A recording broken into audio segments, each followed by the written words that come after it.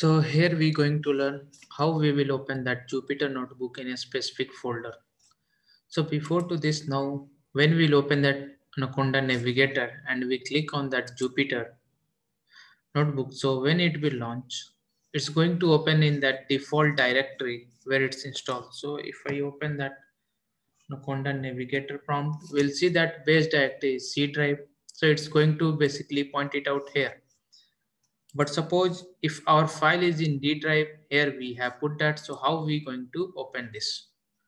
So now first thing, what we going to do? So I will close this one and we not need this as well. So I will close this. We'll put that yes.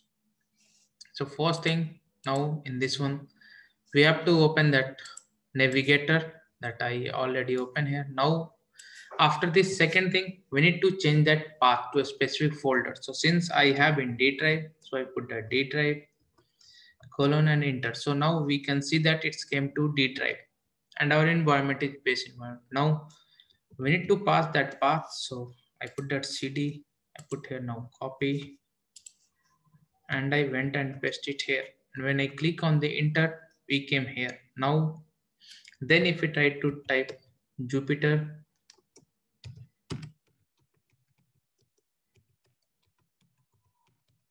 and we press enter. So now we can see that it's open that specifically that same folder, whatever we are going to use it here. So in this way, if we click, we can open that specific folder, whatever we want. And if we create any new, it's going to store in this same folder. Suppose put that name test.